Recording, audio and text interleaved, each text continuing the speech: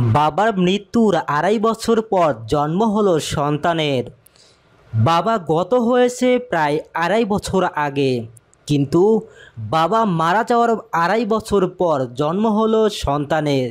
বিষয়টি অকল্পনীয় হলেও সত্যি। আর এমন ঘটনা ঘটেছে মার্কিন যুক্তরাষ্ট্রে। দুই হাজার চোদ্দ সালের বিশে ডিসেম্বর এক আততায়ীর গুলিতে নিহত হওয়ার নিউ ইয়র্ক পুলিশের গোয়েন্দা কর্মকর্তা ওয়েনজিয়ান লিউ ও তার সহকর্মী রাফায়েল রামোস। বত্রিশ বছর বয়সী ওয়েনজিয়ান লিউ যখন মারা যায়, তার মাত্র ক মাস আগে বিয়ে করে সানি লিউকে। স্বামীর মৃত্যুর পর দিশেহারা হয়ে পড়েন নববিবাহিতা স্ত্রী শোকার্ত সানি লিউ ডাক্তারদের কাছে এক অদ্ভুত আবদার করে বসেন।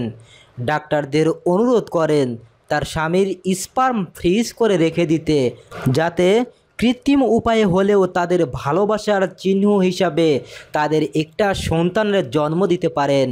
এরই ধারাবাহিকতায় গত পঁচিশে জুলাই লিউ এর মৃত্যুর ঠিক দুই বছর সাত মাস পাঁচ দিন পরে ইন ভাইট্রো ফার্টিলাইজেশন পদ্ধতিতে সানির গর্ভে জন্ম নেয় এক কন্যা সন্তান আর নাম রাখেন অ্যাঞ্জেলিনা।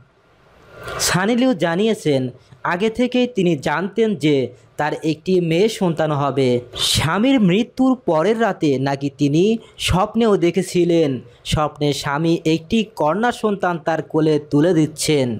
শিশুটির জন্মের পরই নাতনিকে দেখতে হাসপাতালে ছুটে আসেন তার শ্বশুর শাশুড়ি।